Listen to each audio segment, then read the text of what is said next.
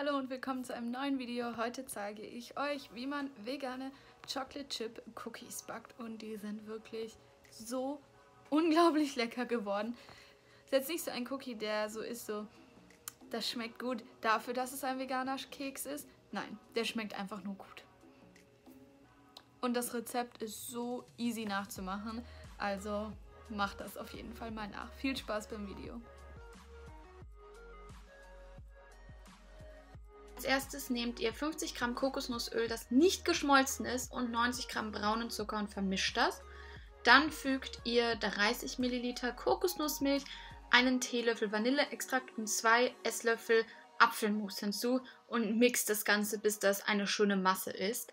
Dann gebt ihr noch 150 Gramm Mehl, einen halben Teelöffel Backpulver und eine Prise Salz dazu und vermengt das Ganze am besten mit so einem Spatel oder einem Holzlöffel oder sowas. Und dann wird es so ein schöner fester Teig und dann gebt ihr noch eure Schokoladenchips dazu, die natürlich auch vegan sein sollten. Und legt das Ganze dann in so kleine Häufchen auf ein Backblech und lasst es erstmal noch so 10 bis 15 Minuten stehen. Und dann kommt das Ganze bei 190 Grad für 10 bis 12 Minuten in den Ofen und danach müssen die Cookies nochmal etwa 10 bis 12 Minuten auskühlen und schon sind sie fertig. Oh mein Gott, ich habe gerade diesen Cookie probiert und die sind unglaublich lecker. Außen sind die so schön crispy und dann innen sind die so weich. Ich kann nicht mehr, das ist so lecker.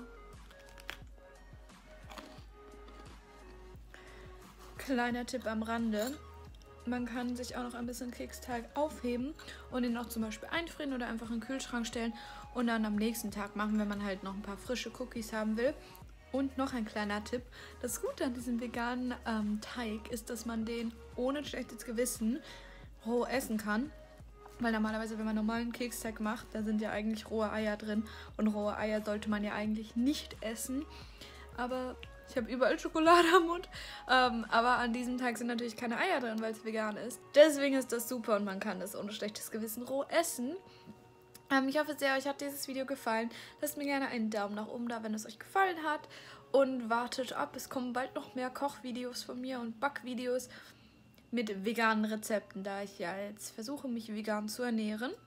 Und ich hoffe sehr, dass es euch nichts ausmacht, dass dieses Video nicht super professionell gefilmt oder geschnitten ist. Ich mache das halt alles alleine.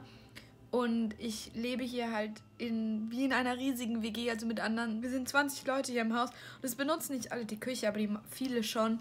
Und deswegen kann ich da auch nicht halt mit Kamera und Mikro und Stativ da rumstehen und filmen. Deswegen mache ich das Beste draus, was geht. Aber ich hoffe, es gefällt euch trotzdem und ich hoffe, ich sehe euch bald wieder auf meinem Kanal. Hab euch alle ganz doll lieb.